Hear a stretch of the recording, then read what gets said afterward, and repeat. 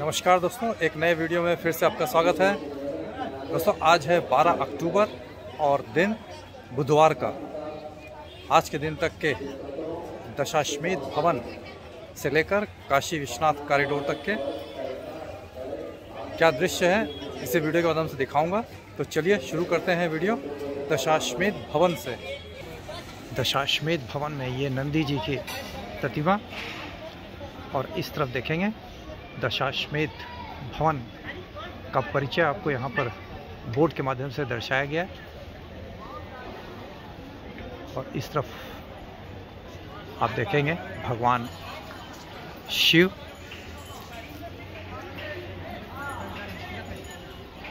और यज्ञ का दृश्य है।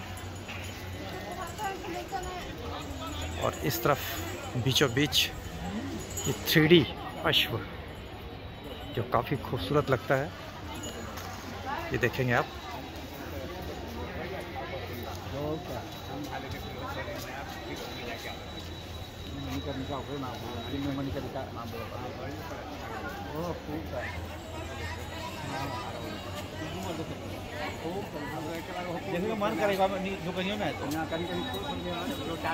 थ्री डी अश्व बना हुआ है। और इसके ऊपर देखेंगे भगवान भोलेनाथ।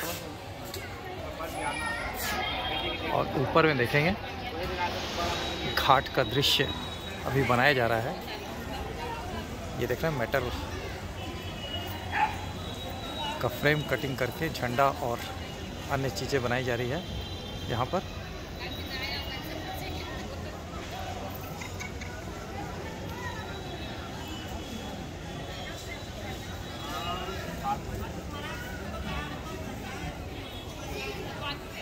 और इस तरफ़ देखेंगे ये दशाश्मेध भवन।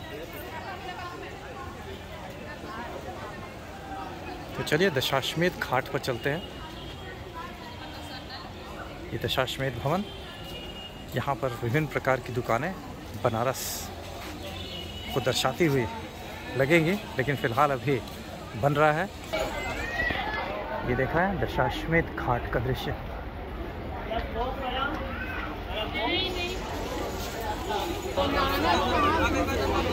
देखेंगे दशाश्वेत भवन जहाँ पर श्रद्धालु लगातार स्नान करते हुए सज्जन तैर रहे हैं अगर ज़्यादा तैरने का शौक हो।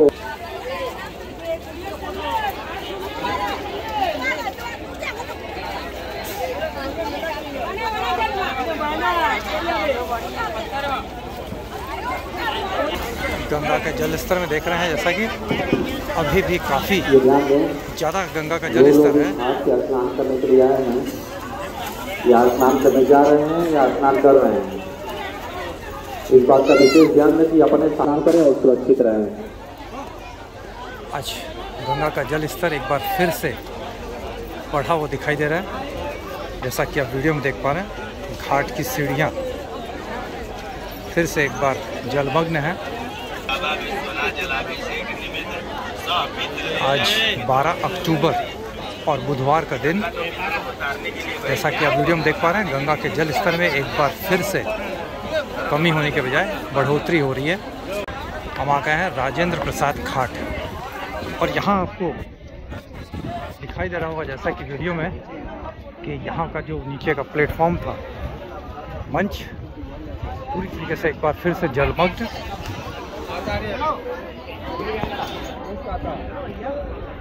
जैसा कि आप वीडियो में देख पा रहे हैं, काफ़ी ज़्यादा एक बार फिर से गंगा का जल स्तर अभी दो दिन पहले ही इसकी सफ़ाई हुई थी, मिट्टी यहाँ से हटाया गया था। लेकिन अब आप देख रहे हैं, फिर से ये एक तरीके से जलमग्न हो चुका है। ये दृश्य आप देख रहे हैं, राजेंद्र प्रसाद घाट का।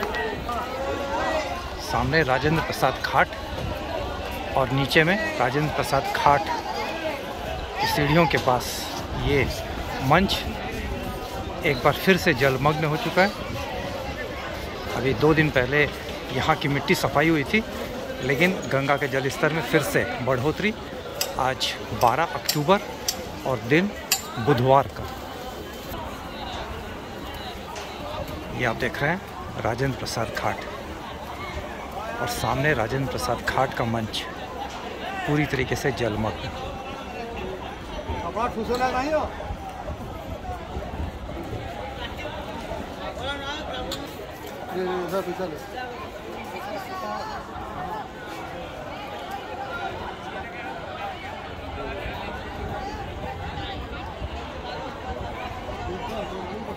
चलिए इसी अपडेट के साथ आगे की तरफ़ बढ़ते हैं। सामने गंगा में नौकायान अभी भी शुरू है, जबकि एक बार फिर से गंगा के जल स्तर में बढ़ोतरी।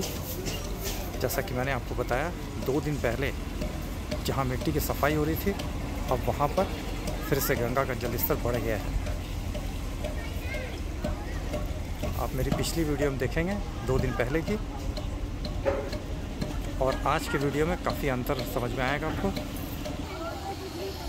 ये मान मंदिर घाट और उसके नीचे का दृश्य आप देख रहे हैं वीडियो के माध्यम से।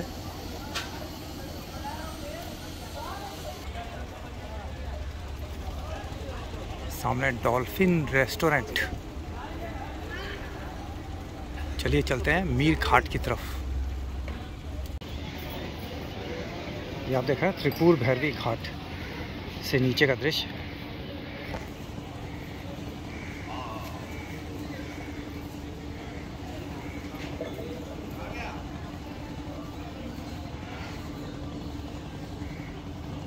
यहाँ भी आप देखेंगे। तो गंगा का जलस्तर थोड़ा सा आपको ऊपर दिखाई देगा। ये आप देख पा रहे हैं। पहले इससे काफ़ी नीचे था। और गंगा का जलस्तर अब ऊपर की तरफ़ आ रहा है। यानी कि गंगा के जलस्तर में एक बार फिर से बढ़ोतरी। ये त्रिपुर भैरवी घाट और सामने मीर घाट।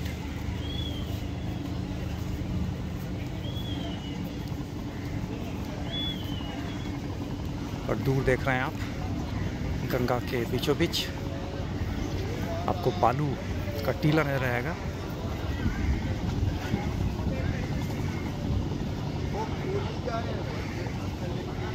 और गंगा में अभी नौका विहार।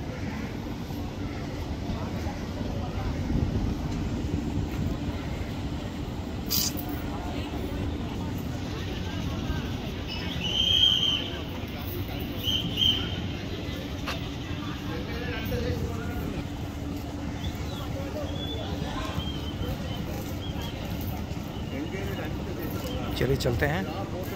मीर घाट से आपको दृश्य दिखाते हैं।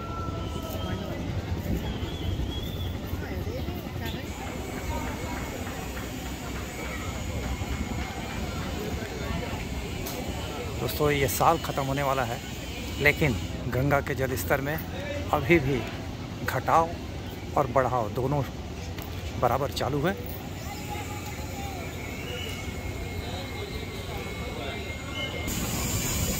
गंगा के बीच में काफ़ी तेज जलधारा।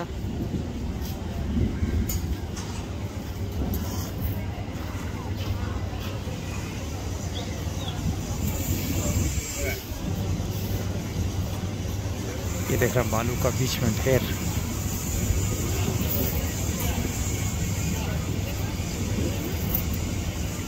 अन्य राज्यों में बारिश के कारण और बाँध का गेट खोलने के कारण गंगा के जल स्तर में 12 अक्टूबर को एक बार फिर से आपको वृद्धि नज़र आएगी। ये आप देख रहे हैं, मीर घाट का दृश्य। जहाँ श्रद्धालु वापस घाट पर आते हुए गंगा के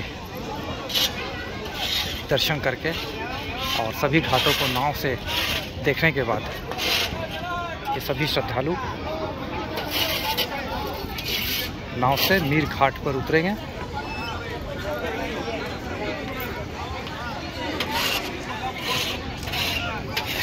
सभी साउथ के श्रद्धालु हैं, जो वाराणसी में काफ़ी बड़ी मात्रा में आते हैं।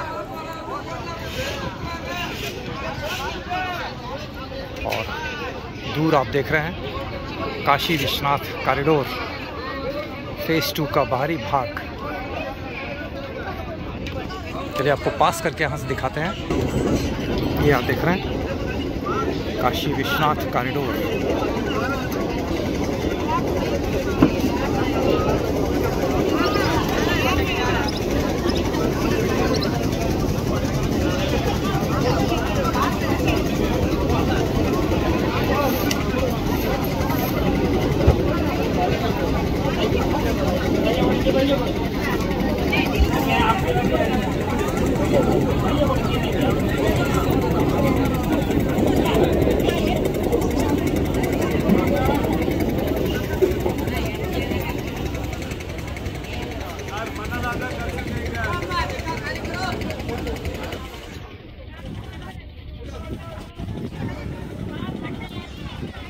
सामने आप देख रहे हैं, मीर घाट का दृश्य है।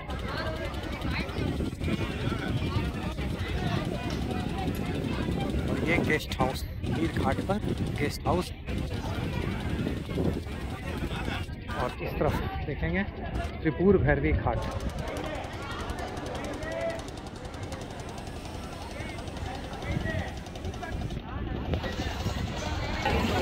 काफ़ी श्रद्धालु मीर घाट पर भी उतरते हैं, और यहाँ से काशी विश्वनाथ मंदिर चले जाते हैं दर्शन करने के लिए बाबा विश्वनाथ का। और यहीं से आपको गंगा की सैर के लिए निकलते हैं। जैसा कि आप वीडियो में देख पा रहे हैं, सभी श्रद्धालु यहाँ पर